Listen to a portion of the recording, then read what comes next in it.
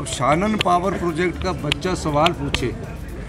तो निश्चित तौर पर आश्चर्य होगा। उन्होंने जब मुझे एड्रेस किया तो फीलिंग आ रही थी कि हाँ मैं सच की मुख्यमंत्री के तौर बतौर यहाँ विधानसभा में आई हूँ। और हम वो बात मुद्दे रख पाएँगे जो बच्चों के मन में आते हैं। हिमाचल प्रदेश विधानसभा में सोमवार को बाल सत्र आयोजित किया गया। सत्र में सत्ता पक्ष और विपक्ष की भूमिका संभाले बच्चों में तीखी बहस भी देखने को मिली। बच्चों ने हिमाचल विधानसभा में प्रदेश के विभिन्न विषयों पर सवाल उठाए। अड़सठ बच्चों ने हिमाचल के अड़सठ विधायकों की तरह काम किया।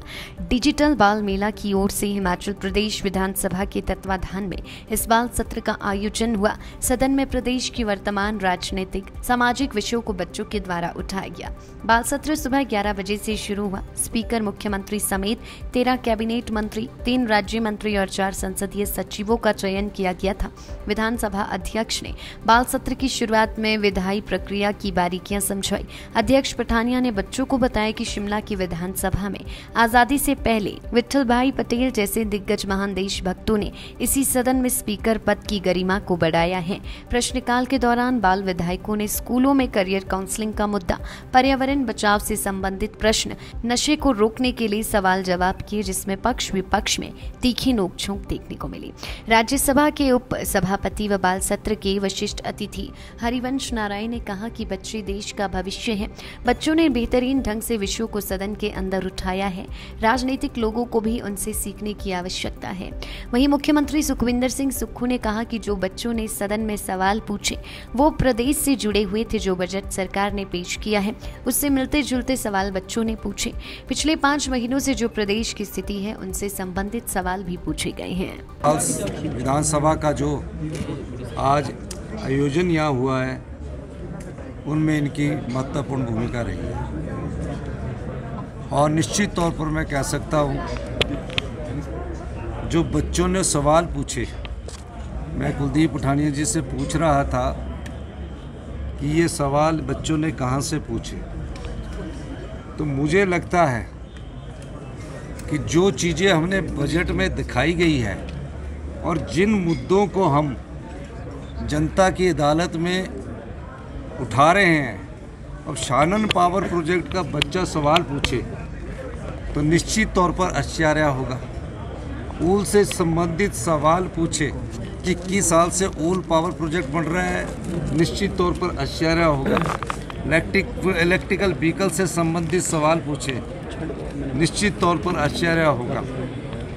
मुझे लगता है कि सब चीज़ों का जो हमने बजट प्रस्तुत किया है, चालीस साल बाद एक ऐसा बजट प्रस्तुत किया है, जो नए हिमाचल की नींव रखेगा और निश्चित तौर पर बच्चों की आशाओं के अनुरूप जो सवाल पूछते हैं उस बजट से मिलते जुलते और जो हम पिछले पाँच महीनों से अपने मुद्दे उठा रहे हैं, उनसे मिलते जुलते हैं।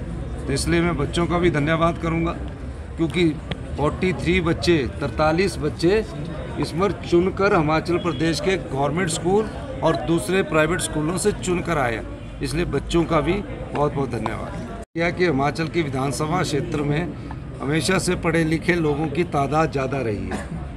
अस्सी प्रतिशत, सत्तर प्रतिशत, नब्बे प्रतिशत डॉक्टर रहे हैं, इंजीनियर रहे हैं, वकील रहे हैं, एडवोकेट सारे।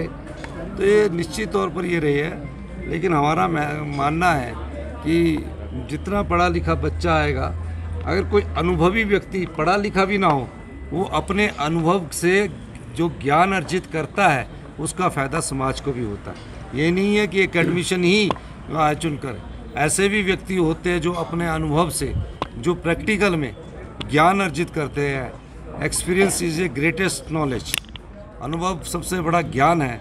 उन वो, वो लोग भी जब अपना ज्ञान देते हैं तो उस पर भी सरकार के द्वारा अमल किया जाता है। पिछले कुछ एक वर्षों से संसद में इस तरह के कई आयोजन हो चुके हैं और हमारे बड़े महापुरुषों के जन्मदिन के अवसर पर जो फ्लोरल ट्रिब्यूट का आयोजन आजकल हो रहा है वो अपने आप में बहुत प्रेरक है। बल्कि फ्लोरल ट्रिब्यूट एक तरह से वो रस्म अदायगी की तरह रिचुअल बन गया था। उसको पिछले दो ढाई तीन वर्षों से जो नया प्रयोग उसमें मिला है जिस तरह की प्रतिभाएँ आ रही हैं वो अद्भुत है प्रेरक है हम सबके लिए बहुत ज्ञानवर्धक। है कैसा एक्सपीरियंस रहा? बहुत ही अच्छा। जिस प्रकार स्वयं सुखविंदर सिंह सुक्खू जी जो हमारे हिमाचल प्रदेश के सीएम है उन्होंने जब मुझे एड्रेस किया तो फीलिंग आ रही थी कि हाँ मैं सच के मुख्यमंत्री के तौर बतौर यहाँ विधानसभा में आई हूँ। सवालों की ऐसे सत्र होने चाहिए लगातार होने चाहिए। ये बच्चों को मौका देते हैं अपनी बात रखने का और जिस प्रकार स्वयं सीएम साहब ने कहा कि इससे बच्चे अपनी बात रख पाते हैं और इससे बहुत कुछ नेताओं को सीखने को मिला और हम वो बात मुद्दे रख पाएँगे जो बच्चों के मन में आते हैं। अक्सर जिस प्रकार सीएम साहब ने खुद कहा कि पेरेंट्स कहते हैं तो अभी तुम्हारी उम्र नहीं है इन चीज़ों का काम करने की आने वाले समय में करिएगा।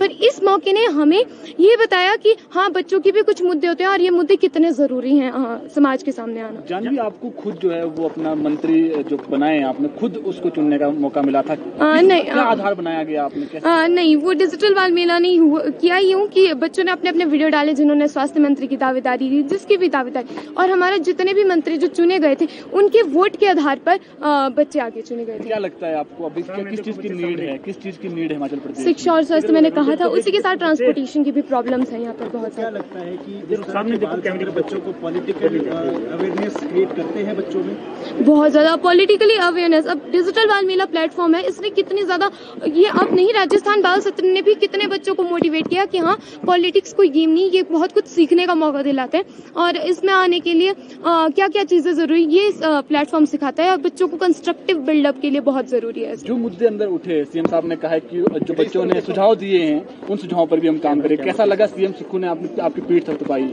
बहुत ही अच्छा लगा और मुझे उन उन बाल विधायकों को भी खुशी होगी कि आने वाले समय में जो उन्होंने मुद्दे उठाए वो भी प्रदेश के सामने आएँगे। उनमें थोड़ा सा प्रोसेस होगा। जैसे सीएम साहब ने खुद कहा कि वो इन पर प्रोग्रेस करेंगे। कुछ कार्य हो चुके हैं कुछ कार्य में अभी प्रगति लगे। तो आने वाले समय आप आप जब सभी से। और जैसा मैंने कहा था कि आप उस दिन बाल सत्र के दिन इस बात को अनुभव करेंगे कि जो बच्चे जो भविष्य हैं प्रदेश का भविष्य है, देश का भविष्य है, और उनके अंदर जो परिपक्वता, गहनता, विचारों की अभिव्यक्ति जो है, वो आप देखेंगे और आप ये महसूस करेंगे और हम ये सब रिलैक्स्ड महसूस कर रहे जो आज के चुने हुए प्रतिनिधि हैं, या पॉलिटिशियंस हैं, कि हमें ऐसा लगता है कि आने वाली पीढ़ी अपनी जिम्मेवारी समझने लगी है, इसलिए उज्जवल हिमाचल प्रदेश का निर्माण जो स्वाभाविक है और हम इस बात से जो है पूरी तरह से अब निश्चित रूप से जो है हमें ऐसा महसूस हो रहा है। अब बच्चों की अभिव्यक्ति से देख लीजिए, ऐसा लगता है बच्चों के अंदर ज्ञान की कोई कहीं कमी नहीं है, परिपक्वता की कोई ऐसी कमी नहीं है। जब बच्चे इस तरह के होंगे तो समाज भी और ज़्यादा सशक्त होगा, मज़बूत होगा और समाज सशक्त हो तो राजनीति आवश्यक तौर पर सशक्त होगी और सरकारें अपने आप जो अपने दायित्व हैं उनका निर्वहन करेंगी। Thank you life times TV के लिए शिमला से सोनी की रिपोर्ट।